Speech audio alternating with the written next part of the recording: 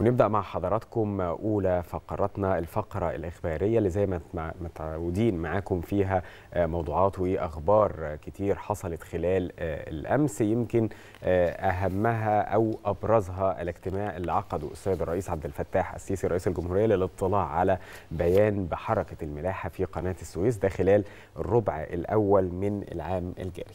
وكمان امبارح الدكتور مصطفى مدبولي رئيس الوزراء تابع جهود تطوير صناعة الأثاث في مدينة الأثاث بدمياط.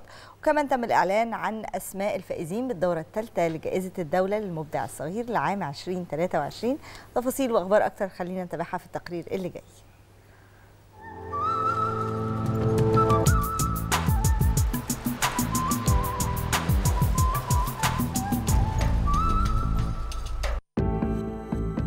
في مجموعة من الأخبار المهمة اللي حصلت امبارح. أبرزها الاجتماع اللي عقده الرئيس عبد الفتاح السيسي للاطلاع على بيان بحركة الملاحة في قناة السويس خلال الربع الأول من العام الجاري واللي أظهر ارتفاع أعداد السفن اللي مرت بالقناة بنسبة حوالي 20% مقارنة بنفس الفترة في العام الماضي. مع ارتفاع الإيرادات لتسجل حوالي 2.3 مليار دولار بنسبة زيادة عن العام الماضي بلغت حوالي 35% مع تسجيل القناة لأعلى معدل عبور يومي في تاريخها يوم 13 مارس الماضي بلغ 107 سفينة بحمولة 6.3 مليون طن.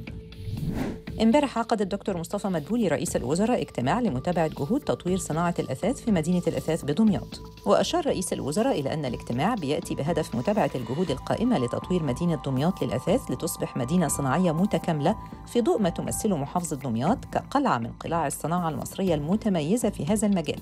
وده في إطار توجيهات الرئيس عبد الفتاح السيسي بمساندة هذه الصناعة المهمة وتطويرها وتمكينها من المنافسة على الصعيدين الإقليمي والدولي. امبارح أكدت الحكومة أنه لا صحة لتداول لحوم محقونة بهرمونات محظورة دولياً وأكد المركز الإعلامي لمجلس الوزراء على أن كل اللحوم المتداولة بالأسواق سواء البلدي أو المستوردة سليمة وآمنة وخالية من أي هرمونات محظورة دولياً وبتخضع للفحص والرقابة من قبل الجهات الرقابية المعنية للتأكد من سلامتها. امبارح تم الإعلان عن أسماء الفائزين بالدورة الثالثة لجائزة الدولة للمبدع الصغير لعام 2023 واللي بتقام برعاية السيدة انتصار السيسي قرينة رئيس الجمهورية وبينظمها المجلس الأعلى للثقافة. والجائزة بتستهدف المبدعين من الأطفال والنشء من سن 5 ل 18 سنة وتهدف للاكتشاف المبكر للمواهب الصغيرة وتحفيز الطاقات الإبداعية في مجالات الثقافة والآداب والفنون والابتكار وضمن الأهداف الاستراتيجية العامة للدولة.